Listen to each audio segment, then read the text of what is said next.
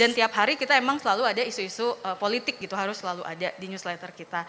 Um, dan makin ke sini uh, setelah kita lihat kita menemukan keunikan dari para audiens kita yang tadi bisa dibilang mungkin um, apa uh, well educated terus juga uh, biasanya di kota-kota besar dan kebanyakan female itu adalah uh, isu lingkungan.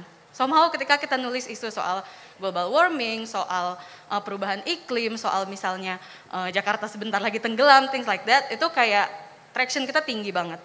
Uh, politik juga sebenarnya mereka sangat tertarik gitu. Jadi uh, setelah tiga tahun ngejalanin Catch Me Up, kita menyadari bahwa kalau ada orang yang bilang bahwa ah, anak muda Indonesia tuh apatis terhadap politik, mereka nggak peduli, mereka nggak pengen tahu.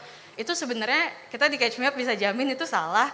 Karena sebenarnya ketika kita menjelaskan dengan gaya yang santai, dengan gaya yang casual, kayak misalnya kemarin kita ngejelasin soal ada orang buron gitu kan, terus kita bikin dengan konteks kayak oh ada yang ngeghosting suatu institusi gitu. Nah itu uh, traction kita tinggi banget justru kayak gitu. Jadi sebenarnya uh, anak muda itu peduli politik, mereka pengen tahu uh, calon mereka nanti siapa ke depan.